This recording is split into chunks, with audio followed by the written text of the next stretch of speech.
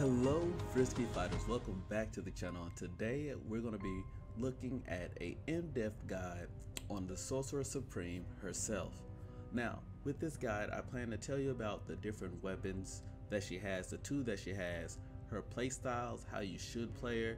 Uh, only reason why I, I, waited a little bit because I did want to at least get up in the ranks. Uh, so being a defender, being up there in the higher class, I uh, I feel like that I know what I'm talking about. I know what I'm doing. Uh, so if you want to take my advice, I definitely believe now is the time. but yes, before you do anything, make sure you hit that like button, hit that subscribe, and hit that notify bell if you want more content. Leave comments down below which character you would like to see me diagnose, look at, get in depth in next. But yeah, with that being said, we're going to get right to the nitty gritty of what she is. Uh, she is a support. She can heal. That's kind of one of her main basic things is healing and supporting the actual champions that she has around her.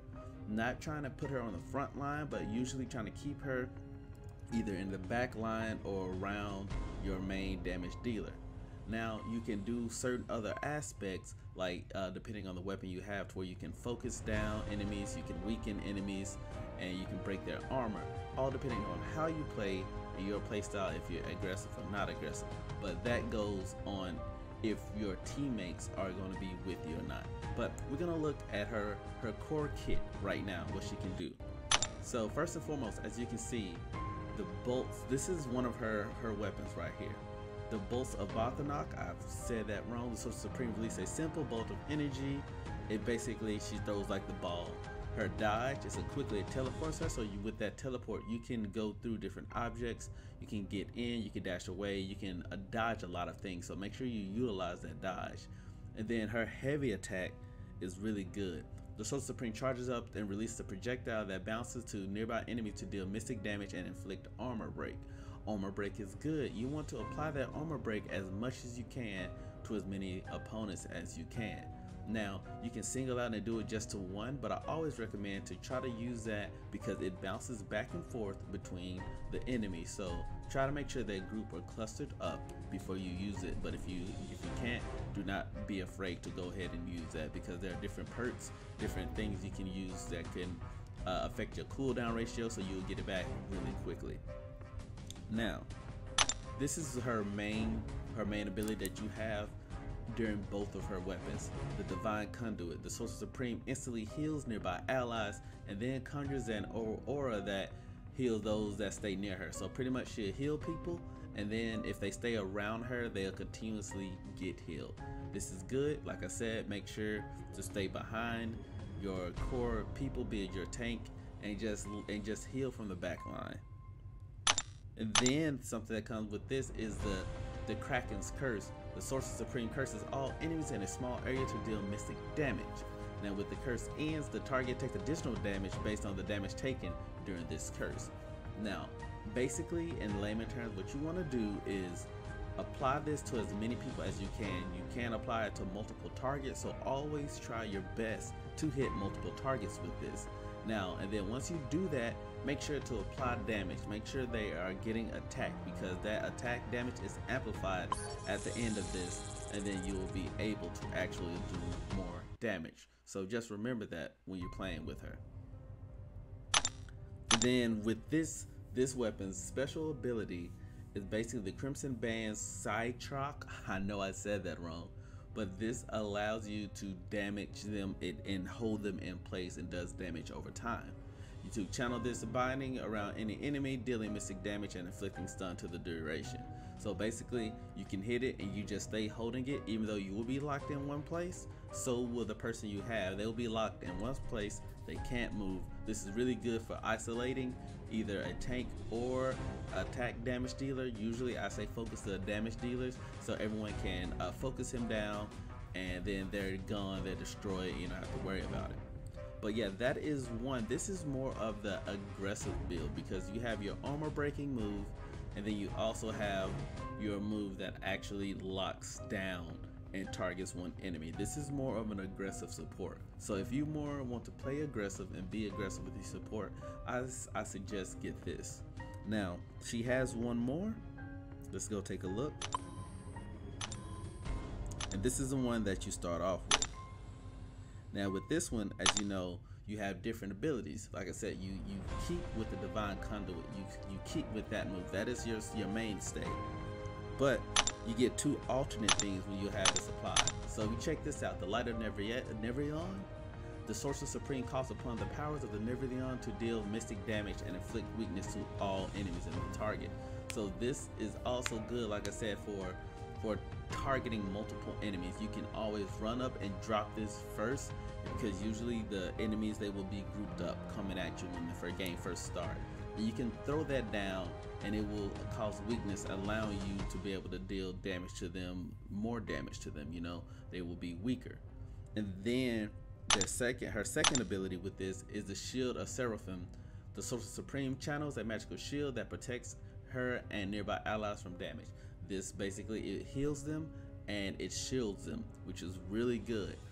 With this weapon, you will be more on the actual supportive side. You'll be more of a mainstay support because you'll be doing tons of healing unless you're dropping that weakness spells to do damage that way.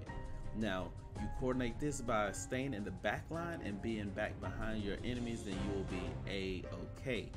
Now, we were going to jump in some gameplay and I'll show you the two different types of playstyle of how you will play with her and how you should play with her. Because like I said before, this they're they're two different things. So let's just go ahead and we're gonna jump in with this right here. And we're gonna show you basically how to or how uh, how to play this in a supportive role. Alright, so with this you see this is weird. We do have multiple Sorcerer Supreme, but with this we're gonna stay in the back line like I said with this build that we have here. So staying in the back line, but causing the weakness to as many as you can.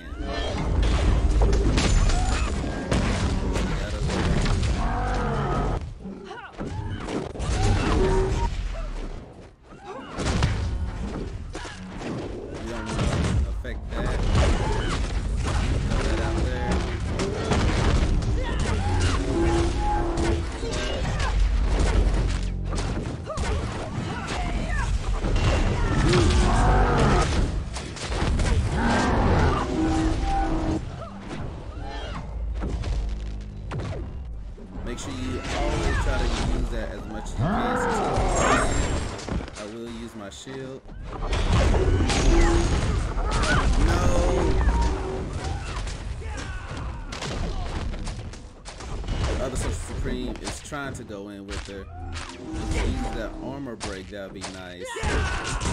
Nice, nice, nice. They captured it, that's great. But as you see, you have to, uh, with her, you have to play a little bit more on the defensive side if you're playing with this actual build. So if you want to be more aggressive, we only got one with, with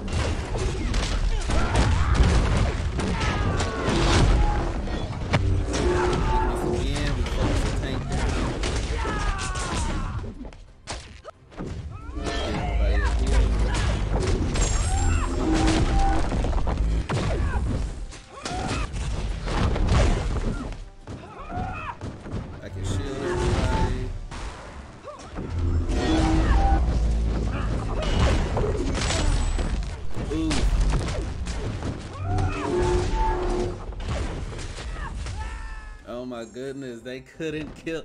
That's the thing, you don't do a lot of damage with this build, which is the worst part about it. Well, I used that at the wrong time.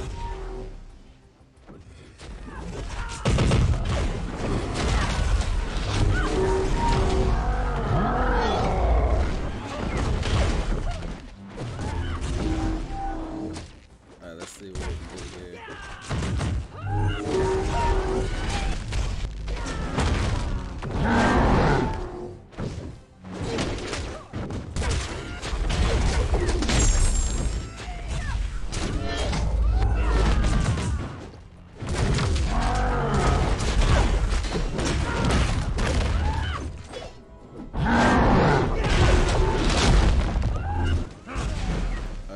one down.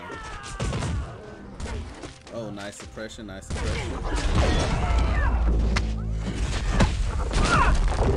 Dodge. Nice, nice, nice, nice. He was able to get the kill on that and dodge and get out of. We could have, we should have backed up a little bit there.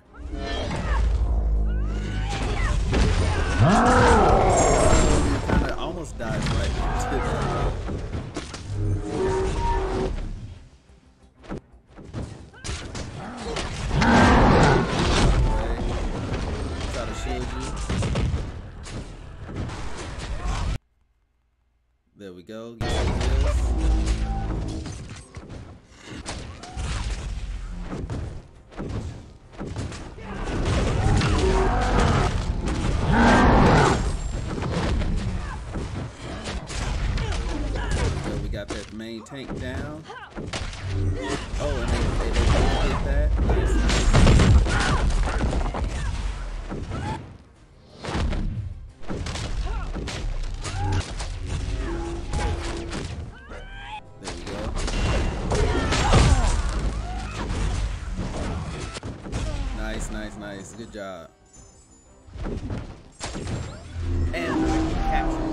as you can see, by doing those basic things of knowing your surroundings, being aware of your opponents and being aware of your teammates and how they're playing, you can kind of adjust yourself to play their play style so you can stay back, support them in the back line, and then when you need to activate your abilities at the proper time and you're able to bam, save your team like we did. Now, Let's get a game where we're actually playing a more aggressive support.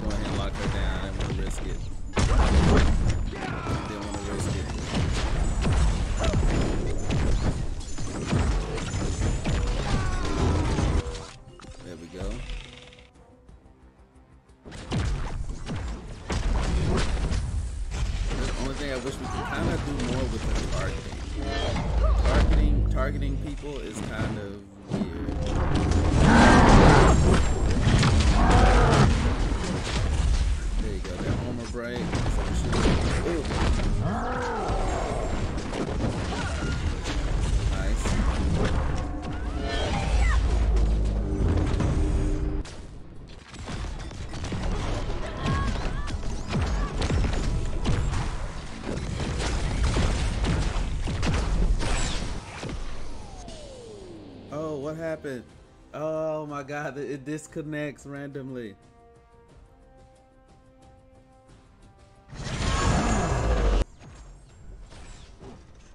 But it looked like we captured it. I don't know.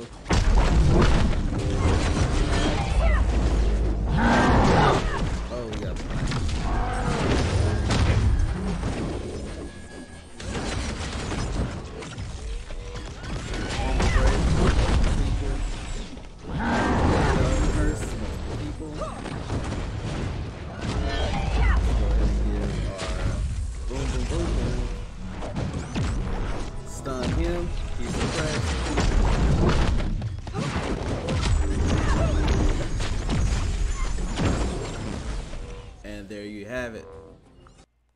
A nice match. But yeah, so you're doing that, as you can see, it definitely it definitely helps. It helps you play more aggressively and you can actually be there for your for your heroes and for your fellow champions right there in the mix with there and you can feel like you're doing a lot of damage because you are just make sure you have your things upgraded and you keep going through and cycling through your actual abilities. But yeah, that is Sorcerer Supreme kind of in a nutshell. Uh, uh, thank you for watching. Thank you for checking it out. Uh, let, let me know who you want to see more down below in the comments. Uh, who you want to see next. I have everyone unlocked, so just let me know what you want to see, and we will break down both the weapons and show you gameplay on how to do their game styles in this mode. But thank you guys for watching. Remember to always, always stay frisky. And I love you. They act like you fuck with them. They don't know I be gunning. Pow pow, got them running.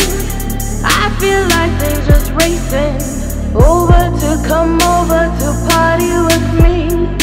Shots on shots way over the limit.